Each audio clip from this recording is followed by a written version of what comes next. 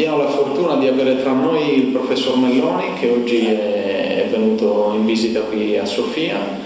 e, e questo ci dà la possibilità anche di, di fargli qualche domanda che, eh, che, può riguardare tanto l'aspetto dei, dei, suoi studi e del suo lavoro, ma anche il punto di vista del mondo eh, che attraverso il lavoro stesso gli capita anche di frequentare eh,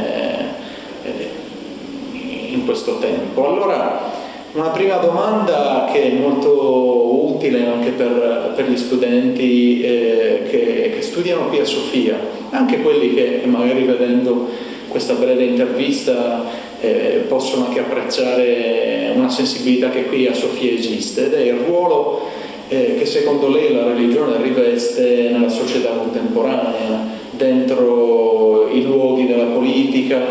dentro i fenomeni anche della politica internazionale, visto che a lei non manca la possibilità di, eh, di incontrare tante persone che sono soggetti importanti in questi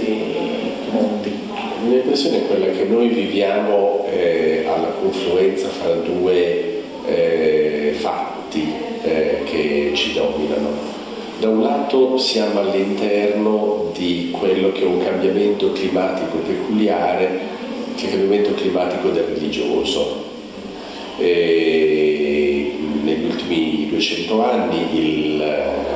l'incontro con la modernità ha prodotto all'interno dei grandi universi di fede delle spinte e delle controspinte, delle spinte riformatrici, delle spinte di ricerca di pace, delle spinte di ricerca comunitaria e di comunione, ma anche delle spinte contrapposte invece delle direzioni della violenza, della direzione del conflitto, della direzione dell'odio reciproco e dell'esacerbazione di quelle che vengono chiamate come espressione un po' eh, balorda le identità delle comunità di fede. E dunque noi vediamo oggi, in modo particolare all'interno dell'Islam, eh, uno degli effetti di questa che eh, è la degenerazione, l'incubazione di una infezione della, della violenza, ma sappiamo, dobbiamo sapere benissimo che quella incubazione può avvenire in qualsiasi altra comunità di fede, non c'è una predisposizione genetica dell'Islam alla violenza, c'è la possibilità in tutte le comunità di fede di essere portatrici o di bene o, o di male, la saggezza biblica ha sempre insegnato che da Caino a Abele in qua il delitto ha sempre a che fare col fumo e con il, eh, con il cielo. Grande fenomeno su cui noi oggi notiamo invece è quello di un grande analfabetismo religioso. Proprio i processi di coscientizzazione violenta nelle comunità di fede nascono non perché c'è un'intensità di fede maggiore, eh, per esempio nell'Islam quelli che come errore vengono chiamati eh, gli elementi radicalizzati eh, non sono per nulla radicali, sono ragazzi vittime di un analfabetismo religioso dominante che alla fine confondono una grande tradizione di fede con qualche rudimentale banalizzazione violenta eh, con cui misurarsi.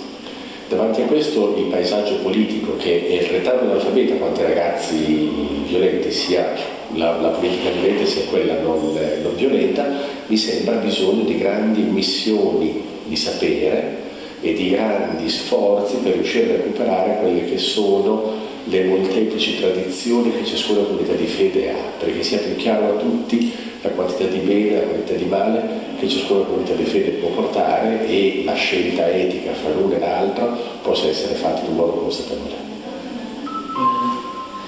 Eh, mi lasci chiedere un'altra cosa, eh, invece riguardo un po'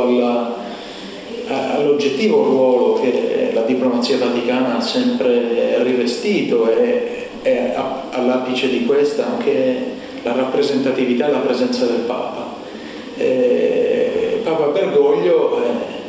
eh, è una personalità fortemente riconosciuta, fortemente anche rappresentativa in luoghi che, che precedentemente sembravano un po' non essere apparentemente frequentabili, anche se poi sappiamo che la diplomazia vaticana ha sempre avuto una grande capacità di arrivare anche laddove tanti stati e persone che ricoprivano anche ruoli importanti sembravano non arrivare, ma questo grande credito di cui Papa Bergoglio è riconosciuto, a che cosa può essere dovuto? Beh, è un grande credito eh, che ha degli aspetti positivi e degli aspetti negativi. Eh, c'è un, un, credito che riconosce in quest'uomo che è il primo uomo del sud del mondo che raggiunge una posizione di leadership globale così forte, così alta come quella del papato e quindi vede in lui il portatore di una speranza, di un'attesa di riscatto, di liberazione, di uguaglianza, di giustizia che non può essere soppressa. Per gli stessi motivi però è anche il bersaglio di una campagna politico-ecclesiastica, quella che noi oggi vediamo, che ha un obiettivo per ora molto semplice, quello di far apparire la Chiesa Cattolica divisa in due, metà con il Papa e il Papa.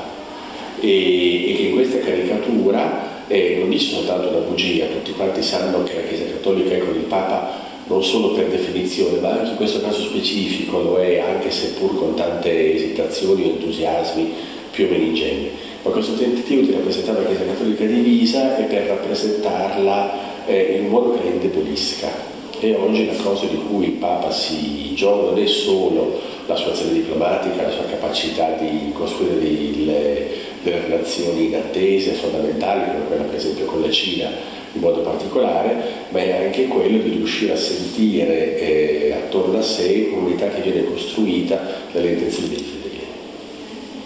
eh, da uomo di, di cultura e, e, anche da credente, eh, pensando a, a, una vita vissuta a 360 gradi, visto che siamo anche in un luogo di cultura dove si fa cultura, dove si formano dei giovani, eh, lei mantiene un ottimismo eh, riguardo a quello che stiamo vivendo o, o quali sono i sentimenti prevalenti in questo momento? Semplicemente non sono di di pessimismo, sono di urgenza. Penso c'è uno scasso di una reazione di volontà e di intelletto eh, per cercare di capire più a fondo quello che ci circonda, per cercare di venire eh,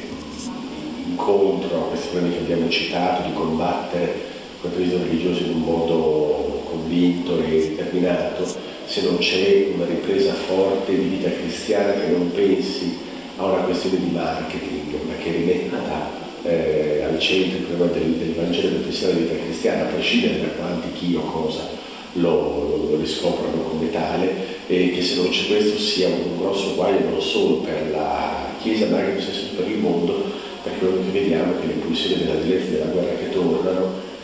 hanno bisogno per affermarsi di una Chiesa debole, di un cristianesimo eh, pallido e, e, tiepido e se non riescono ad avere questo eh, la pace potrà avere ancora un futuro, altrimenti potrà essere, potrà essere quella. Bene, molte grazie, la ringraziamo e, e l'aspettiamo ancora in questi luoghi. Grazie. grazie.